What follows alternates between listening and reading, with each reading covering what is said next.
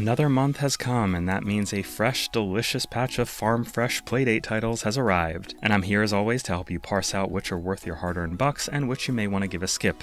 Let's get right into it. I want to start with Slitherlink PD, an unlikely marriage of Snake and Minesweeper I never knew I wanted, and one of the most mechanically creative puzzle games I've seen on the Playdate yet. Its concept, though threatening to confuse with a hands-off and overly long slideshow of a tutorial, is actually quite simple. Your goal is to build a shape using a series of contiguous lines that ultimately connect in the end without overlapping. You're given a grid full of numbers where each number represents how many of the four sides the shape uses. You'll navigate with the D-pad and hold A while doing so to draw a line, or hold B instead to draw an X to tell yourself that section can't be used. And although even the very first level is labeled in game as very easy, I don't think I found any levels to be instantly solvable. There's certainly a learning curve here as you figure out patterns that certain combos of numbers form. Thankfully, there is an in-game tips menu that can help you get better, but either way it will take some practice and careful thought to get good. If there's any downside to Slitherlink PD, it's that its presentation is pragmatic almost to a fault, with no music, just a few sound effects, and little in the way of visual elements beyond what's strictly necessary for gameplay gameplay. But that's fine because it doesn't need any of that. This is a fun and deliciously clever puzzle game that offers 90 puzzles with lots of challenge for 5 bucks and is worth every penny. Next up is Crankshaft, a game whose name almost certainly wasn't meant to sound as potentially sexual as it does. Crankshaft is a platformer of sorts where you use the Playdate's crank to shift obstacles out of the way of a ball flying across the screen. While hitting obstacles is fine to do, it breaks your combo, and some pieces of certain obstacles that are darkly shaded can destroy your ball and force a restart. While I think Crankshaft has a fun concept and great use of the Playdate's crank, unfortunately, I didn't find its design to feel especially compelling or fair. The ball travels way too quickly to the point that the frame rate heavily chugs and it's seemingly impossible to see the obstacles coming with proper time to react to them. As a result, the only ways I found to make reasonable progress were to take the obstacles one or two at a time and specifically not aim for high combos, or go the trial and error route, allowing myself to die repeatedly until I could figure out the maneuvers to get some decent combos together. It's also pretty bare bones as I couldn't even figure out how to reach the main menu.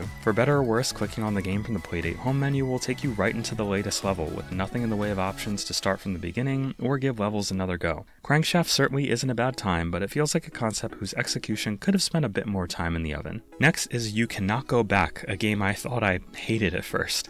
And I'm still not completely sure I like it, but once I stopped being hopelessly confused, an interesting game started peeking its way out. You Cannot Go Back spends absolutely zero time explaining what it's all about before throwing you into the deep end, so it's worth taking a look at its itch.io page before you start playing. This is ostensibly a roguelike where you make your way through a dungeon full of traps, puzzles, mazes, memorization puzzles, brief platforming sequences, and more. The room layout is randomized and often seemingly unrelated elements in prior rooms, like a number you see or a word written on a wall, will become crucial to making it out alive. The chaotic nature of the game once you actually figure out what's going on is somewhat of an asset to it, having an almost WarioWare like feel to each of the dungeon's rooms where you must quickly figure out what needs to be done and make it happen.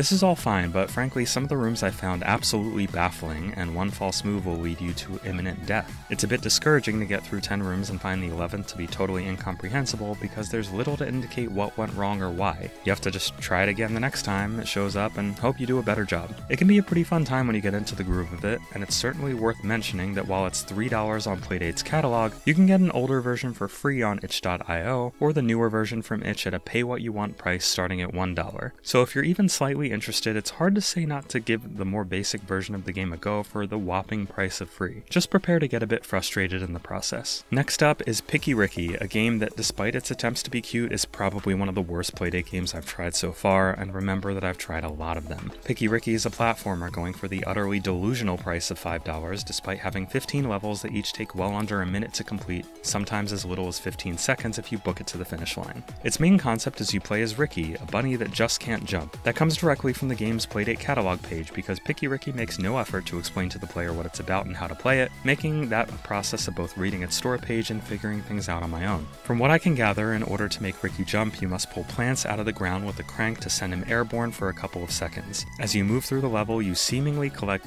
seeds you can plant to give you the ability to jump until you get to the final section of each level that contains a large turnip you must pull from the ground to win. Picky Ricky's refusal to explain literally anything in game was annoying, but even once I figured it out, I was having a dreadful time. The 15 second timer that begins each level can be extended as you play well, but mostly forces you to speedrun like hell to have any hope of getting to the end. There's a 3 live system that makes absolutely no sense given that the consequence from losing one life or losing all lives is identical. You just restart the level. And even when I was getting into a groove and forcing myself to get through these levels to see if things improve, the biggest challenge I faced was hand cramps. I had to hold the D-pad while furiously turning the crank, which for some reason only worked when turning it counterclockwise, though thankfully there is a setting to substitute in the B button if you want. I didn't have anything resembling fun with Picky Ricky, and unfortunately wouldn't recommend it for $1. Never mind the $5 it's going for. Give Picky Ricky a pass. Pulse is a puzzle game for the Playdate where you make your way through 84 stages to collect keys, flip switches, and figure out how to get to the exit under a strict time limit, with each stage generally taking 5 to 10 seconds. Taken at face value, Pulse is a completely average and arguably very basic puzzle title where you're not going to see much that you haven't seen before. What I would consider a major ding against it, however, is that at no point does the game save, in a mission that's clearly intended to be a feature rather than a bug, given its store page's insistence that the goal is to clear all stages in a single run.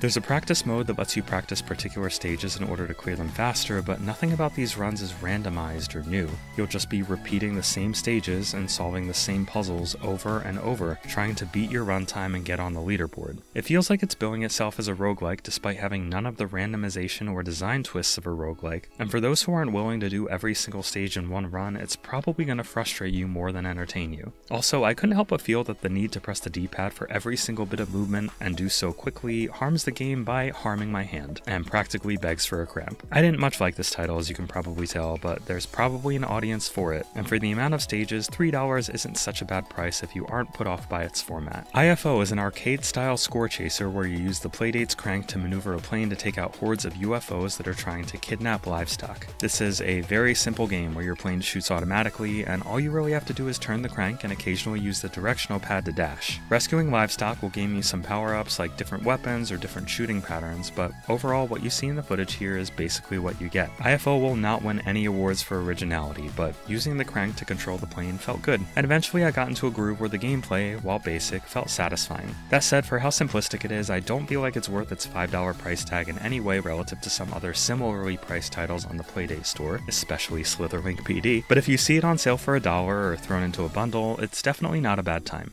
Castle Tintagel, Tintagel, I'm not really sure, is a retro action platformer that's sort of a Castlevania like, where you play as the last knight of King Arthur's Round Table trying to take down an evil sorceress. The game takes you through a variety of stages and environments and gives you the ability to jump, slash with your sword, or use spells to take down your enemies. I'll admit, I have no nostalgia for the old 2D Castlevanias because I never played them. I know, you can yell at me later. But I found the pace of Castle Tintagel to be pretty rough. While the level design can be interesting at times, controlling your heroic knight kind of feels like controlling a character who's struggling through a pool of quickly drying cement. He moves excruciatingly slowly, which doesn't help matters when trying to dodge enemy projectiles or make a tricky jump. That said, I do appreciate that there are some options to make the game easier for those like myself who don't really appreciate old school challenges with limited lives and limited checkpoints. You can tick off options in the menu to make enemies easier, make checkpoints more frequent, and have unlimited lives if you just want to get through the game at a more leisurely pace. I do think the $9 price tag is a little steep here, but overall, fans of the genre may want to give it a look.